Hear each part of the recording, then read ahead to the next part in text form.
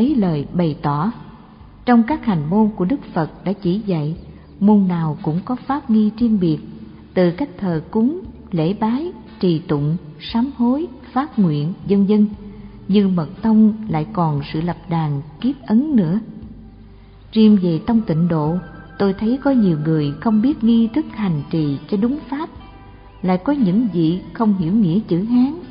Thành ra khi trì tụng chỉ đọc suông theo thông lệ khó phát lòng thành khẩn, không thể chuyển hướng tâm niệm của mình y như lời chăng. Nghĩ gì dòng đời cứ mãi trôi qua, người sau càng ngày lại càng ít am hiểu văn từ hán việt. Nên theo lời yêu cầu của một số đông, tôi soạn dịch nghi thức tu tịnh độ ra việt văn để giúp bạn đồng tu.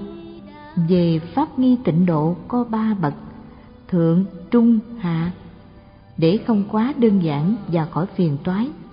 Tôi căn cứ theo pháp nghi của ngài từ chân trong tịnh độ thập yếu, soạn dịch nghi thức theo bậc trung. Về cách trì danh, vẫn có nhiều đường lối. Theo chỗ kinh nghiệm và so với thời cơ, tôi chọn pháp thập niệm ký số. Về pháp nghi tịnh độ, thuở xưa chia làm năm môn, tôi ước kết lại thành ba môn, lễ bái, trì tụng và phát nguyện hồi hướng. Giả lại, pháp môn tịnh độ có chuyên tu và kim tu, có vị chuyên niệm phật, có vị lại kim tụng kinh, trì chú, sám hối hoặc tham thiền. Theo ấn quan pháp sư, thì người tu tịnh nghiệp phải lấy sự niệm phật làm phần chính, lấy món kia làm phần phụ. Phần chính cố nhiên phải giữ cho nhiều hơn. Riêng về tụng kinh, trì chú nếu dùng để giúp cho phần niệm phật và chí tâm hồi hướng, cầu giảng sinh, cũng có thể gọi là chuyên tu. Trên pháp môn trì danh, sự hơn kém thật ra không phải ở nơi nghi thức mà ở chỗ âm thanh rành rõ hay lờ mờ, tâm niệm thành khẩn hay thờ ơ tán loạn, công trì tụng sâu nhiều hay cạn ít. Nếu người biết tu thì một lượt chiêm lễ một câu xưng danh, công đức cũng hơn kẻ không biết tu rất nhiều. Tuy nhiên, nếu không có pháp nghi cho đúng thì công đức hành trì thì cũng khó phát huy đến chỗ viên mãn. Và vì thế tôi mới soạn ra nghi thức này.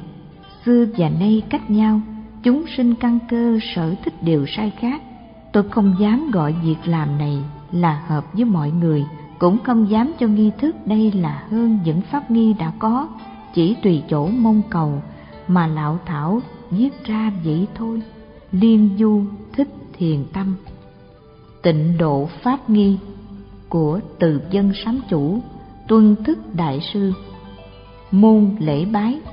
Trước khi trì tụng, nên súc miệng, rửa mặt, rửa tay sạch sẽ, rồi mặc áo tràng, đốt hương, kế chắp thay đứng trước bàn phật đọc bài kệ tán phật. Tiếp theo lễ bái, từ bi thệ độ khắp quần sinh, hỷ xả cứu an chúng hữu tình, tướng tốt trang nghiêm thân rực rỡ, nay con đảnh lễ chí tâm thành. Cùng đứng sướng lễ, chí tâm đảnh lễ, nam mô tận hư không, khắp pháp giới, mười phương ba đời, tất cả chư phật. Một lễ, một tiếng chuông chí tâm đảnh lễ. Nam mô tận hư không, khắp pháp giới, mười phương ba đời, tất cả tôn pháp, một lễ, một tiếng chuông. Chí tâm đảnh lễ, nam mô tận hư không, khắp pháp giới, mười phương ba đời, tất cả hiền thánh tăng. Một lễ, một tiếng chuông.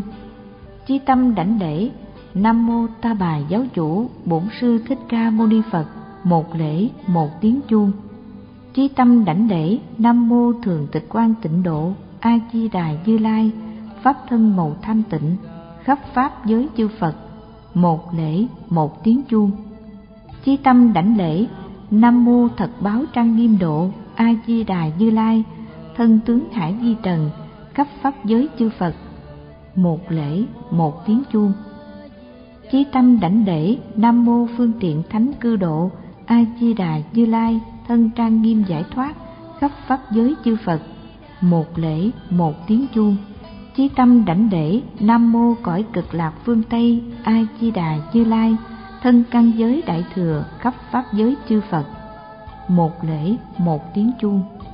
Chí tâm đảnh lễ, nam mô cõi cực lạc phương tây, a di đà như lai, thân hóa trên mười phương khắp pháp giới chư phật. Một lễ, một tiếng chuông chi tâm đảnh lễ, nam mô cõi cực lạc phương tây, quán thi âm bồ tát thân tử, kim muôn ức, khắp pháp giới bồ tát. Một lễ, một tiếng chuông. Chí tâm đảnh lễ, nam mô cõi cực lạc phương tây, đại thí chí bồ tát, thân trí sáng vô biên, khắp pháp giới bồ tát.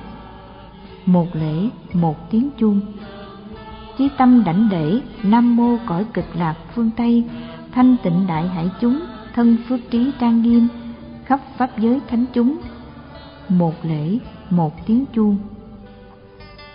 Môn trì tụng. Ngồi bán già hoặc kiếp già, chắp tay niệm phật. Tịnh pháp giới chân ngôn. Án lam xóa ha. Bảy lần. Tịnh tam nghiệp chân ngôn. Án sa phả bà phả thuật đà sa phả, đạt mã sa phả, bà phả thuật đổ hám ba lần. Hương tán. Hương thum chân bủa. Thánh đức tỏ tường. Bồ đề tâm rộng khó suy lường. Tùy chỗ phóng hào quang. Lành tốt phi thường. Kính lễ pháp trung dương. Nam mô hương dân cái bồ tát. Ba lần. Nếu người tụng kinh thì đọc bài kệ khai kinh, tiếp theo tụng thứ kinh mà mình thích. Người trì chú chuẩn đề, tụng theo ghi chú chuẩn đề. Người chỉ chuyên niệm phật, đọc bài kệ tán phật a di đà rồi niệm phật. Dù tụng kinh hay trì chú chi, khi xong đều tiếp theo niệm phật y như sau. Trong đây, theo phần đông, tôi viết ra nghi thức trì chú, đại bi và niệm phật nam mô đại bi hội thượng phật bồ tát. Ba lần. Kính lạy quán âm chủ đại bi, sức nguyện trọng sâu, thân tướng đẹp. Ngàn mắt quang minh khắp chiếu soi. Ngàn tay trang nghiêm khắp nâng đỡ. Nơi tâm vô di khởi lòng bi. Trong thể chân thật tuyên lời mật, mau cho đầy đủ những mong cầu. Hay khiến dứt trừ nhiều tội nghiệp thiên long các thánh đều từ hộ trăm ngàn tam muội đã quân tu. Thân thọ trì là quan minh tràng.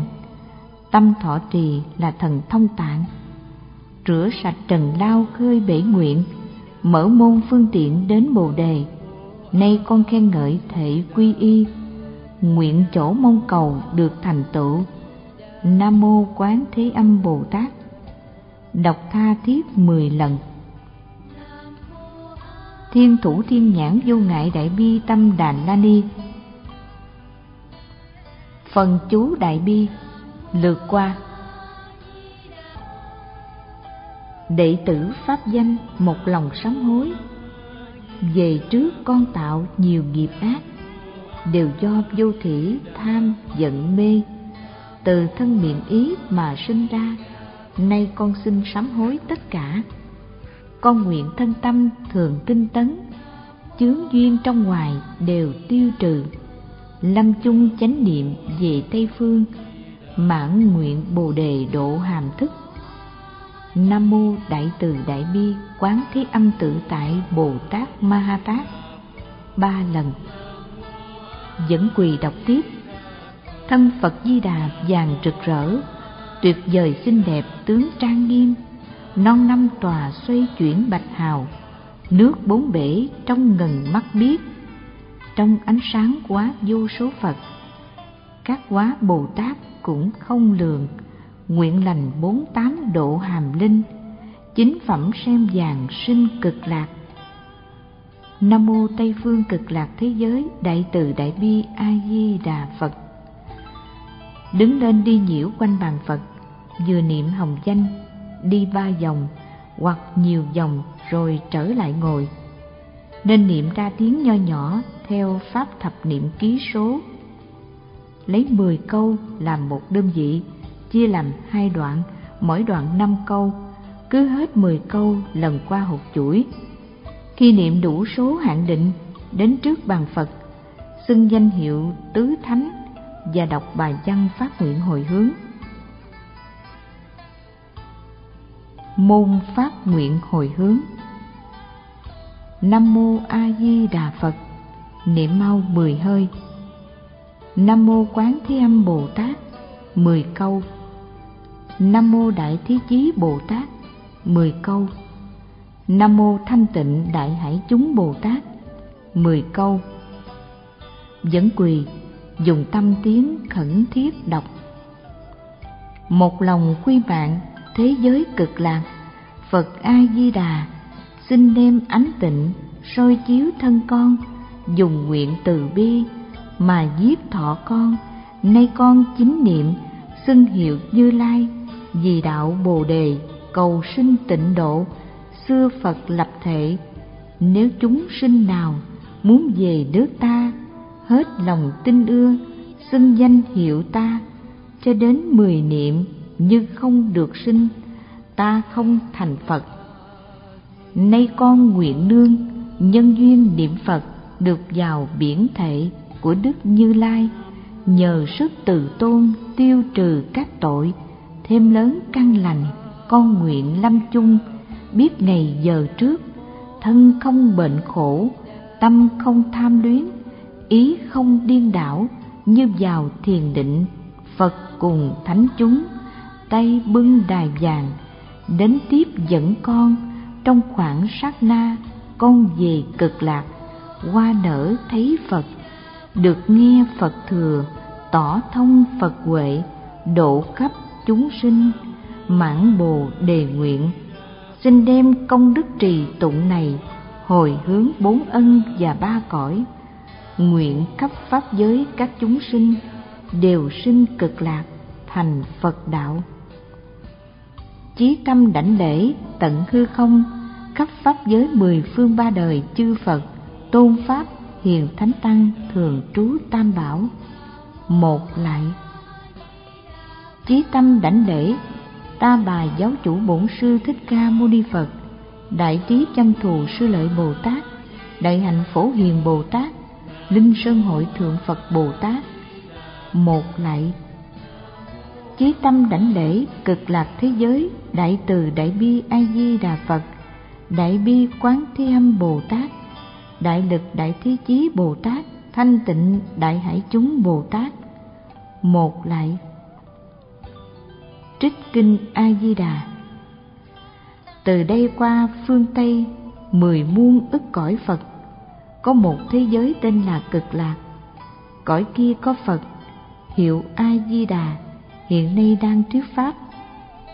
Này xá lợi phất, vì sao nước kia kêu là cực lạc? Bởi chúng sinh nước kia chỉ hưởng những điều vui, không có các việc khổ, nên gọi là cực lạc.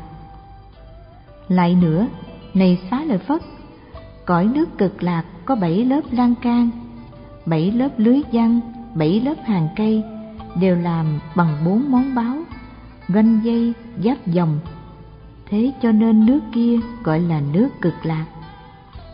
Lại nữa, xá lợi phất, cõi nước cực lạc có ao bằng thất bảo, tám thứ nước công đức dẫy đầy trong đó.